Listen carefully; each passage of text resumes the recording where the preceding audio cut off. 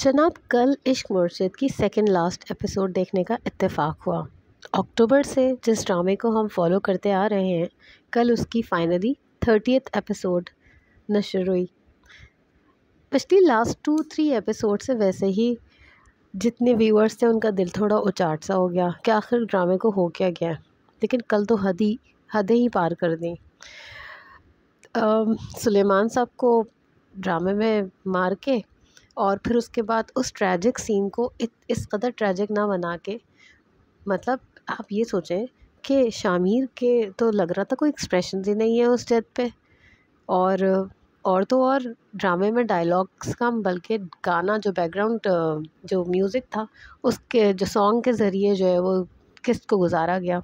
सबसे अच्छी एक्टिंग कल उमेर राना साहब की थी क्योंकि उनके कुछ कम अज़ कम डायलॉग तो थे। और बाकी अजीब से फ्लॉस नज़र आए। अब इतना बड़ा बन, ऐसा बंदा जो कि इतना पावरफुल हो और जो हमेशा से उसका इम्प्रेशन ये हो कि वो सब कुछ संभाल लेता है, वो अचानक से इस कदर बदल गया कि उसको ये भी नहीं पता कि उसके ससुर जो है वो किसी जेल में है या किसी प्राइवेट जगह पर कैद है। उनको ये भी नहीं मालूम हो सका। तो बड़ी अजीब सी ये चीज़ दिखाई गई है। और तो और ड्रामे में बिलाल अब्बास का ऐसा लग रहा था कि शायद उसके, उनके पास भी कुछ नहीं है एक्सप्रेस करने को। शायद उनके पास डायलॉग्स थे ही नहीं। ये शायद ड्रामे को इस कदर खींच दिया गया कि वो व्यूअर का इंटरेस्ट लूज़ हो गया उसमें। काफ़ी मायूसी हुई कल का ड्रामा देखकर और बहुत सुलेमान साहब की डेथ से ज़्यादा ड्रामे की जो हालात हो गए उसको देखकर काफ़ी अफसोस हुआ।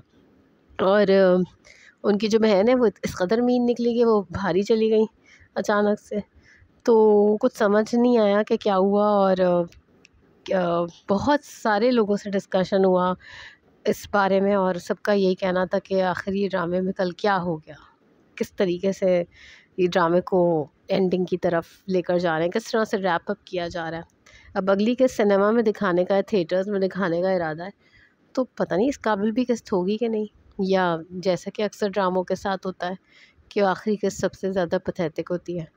तो लेट्स सी और क्या होता है और आ, हाँ बाकी आ, ये कि इससे पहले जितनी किस्तें थी इन दो तीन चार किस्तों से पहले जितनी किस्तें थी वो काफ़ी अच्छी थी।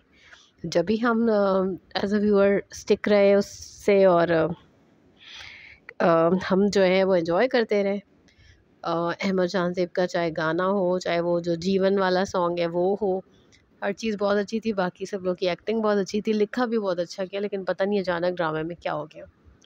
तो उम्मीद है कि नेक्स्ट टाइम ख्याल रखा जाएगा और न जाने क्यों चंद किस्तों को बढ़ाकर थोड़े से फाइनेंशियल गेंस के लिए कॉम्प्रोमाइज़ किया जाता है किसी कहानी के लिए। आई थिंक ये चीज़ अब नहीं होनी चाहिए फ्यूचर में।